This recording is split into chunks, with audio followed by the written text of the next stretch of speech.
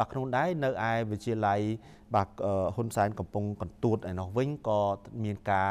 ធ្វើនៅពិធីជួបជុំមានការលើកទឹកចិត្តគឺជាការផ្ដល់បទពិសោធន៍ទៅដល់សិស្សានុសិស្សនៅក្នុងវិទ្យាល័យនេះដើម្បីឲ្យពួកគាត់មានការកិត្តខំប្រឹងប្រែងក្នុងការប្រឡងនិងទទួលបានជ័យជំនះល្អប្រសើរនោះ។ ថ្លែងនាឱកាសនោះលោកអុកញ៉ាត្រីដាលុចបានសង្កត់ធ្ងន់ទៅលើការត្រៀមប្រឡងនិងក្រោយប្រឡងចប់ដោយលោកលើកទឹកចិត្តនិងជំរុញឲ្យសិស្សទាំងអស់ត្រូវជ្រើសរើសមុខជំនាញឲ្យបានត្រឹមត្រូវដើម្បីសិក្សាបន្តនៅថ្នាក់មហាវិទ្យាល័យពិសេសគឺជំនាញខ្លួនស្រឡាញ់ជៀសវាងការរៀនជំនាញខ្លួនមិនពេញចិត្តឬដោយការបង្ខិតបង្ខំដើម្បីទទួលបានជោគជ័យទាំងការសិក្សានិងការបំពេញការងារក្រោយរៀនចប់ ប៉ុន្តែទន្ទឹមនឹងការលើកឡើងនេះលោកក៏បានផ្ដាំផ្ញើដល់សិស្សទាំងអស់ត្រូវត្រៀមខ្លួនឲ្យបានល្អនិងប្រឹងប្រែងប្រឡងឲ្យអស់ពីសមត្ថភាពដើម្បីទទួលបាននិទេសល្អរៀងរៀងខ្លួន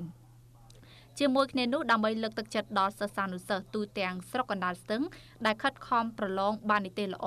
ក្នុងនាមតំណាងឯកឧត្តមអុកញ៉ាទ្រីភិបលោកញ៉ាបានប្រកាសថា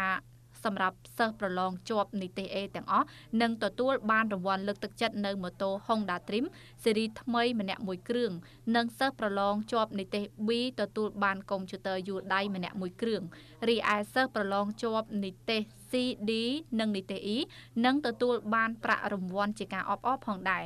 តែយ៉ាងណាក៏ដោយលោកក៏បានស្នើឲ្យសិស្សទាំងអស់ត្រូវគោរពឲ្យបាននៅប័ណ្ណបញ្ជាផ្ទៃក្នុងតាមមណ្ឌលប្រឡងនីមួយៗដើម្បីធានានៅការប្រឡងមួយដ៏ត្រឹមត្រូវនិងលើកកម្ពស់គុណភាពអប់រំនៅក្នុងប្រទេសកម្ពុជាឲ្យកាន់តែរីកចម្រើនឡើងគួរបញ្ជាក់ថាក្រៅពីជំនួបសំណេះសំណាលដើម្បីផ្ដាំផ្ញើនិងចែករំលែកបទពិសោធន៍ដល់សិស្សត្រៀមប្រឡងបាក់ឌុបនៅក្នុងស្រុកកណ្ដាលស្ទឹង លោកញ៉ាត្រីដាលុចបាននាំមកជាមួយនៅការសួរសុខទុក្ខនិងអំណោយរបស់ឯកឧត្តមបណ្ឌិតត្រីភិបផ្ដល់ជូនលោកគ្រូអ្នកគ្រូសាស្ត្រាចារ្យក្នុងម្នាក់ម្នាក់ចំនួន100,000រៀលសិស្សានុសិស្សម្នាក់ម្នាក់40,000រៀលរួមទាំងរដ្ឋបាលស្រុកវិទ្យាល័យចំនួន3កងកម្លាំងប្រដាប់អាវុធមូលដ្ឋានសរុបចំណាយអស់ចំនួន45លានរៀលផងដែរ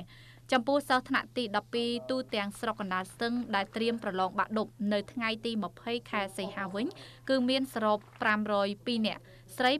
288នាក់ក្នុងនោះមានបេក្ខជនថ្នាក់វិទ្យាសាស្ត្រមានចំនួន264នាក់និងបេក្ខជនថ្នាក់វិទ្យាសាស្ត្រសង្គមមានចំនួន